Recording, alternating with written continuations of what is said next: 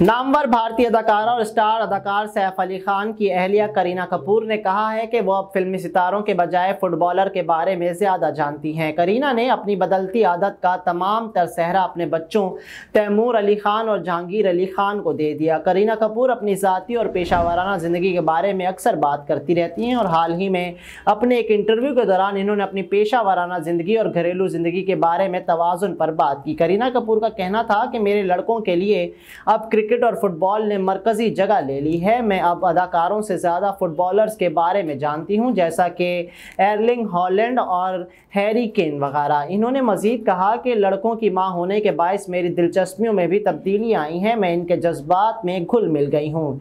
इन बच्चों की दुनिया का हिस्सा बनना एक खूबसूरत एहसास है। वाज रहे कि करीना कपूर ने अक्टूबर 2012 में सैफ अली खान से शादी की थी और इस जोड़े के यहाँ 20 सितंबर 2016 को पहले बेटे तैमूर अली खान, जबकि 21 फरवरी 2021 को दूसरे बेटे जहांगीर की पैदाइश हुई थी।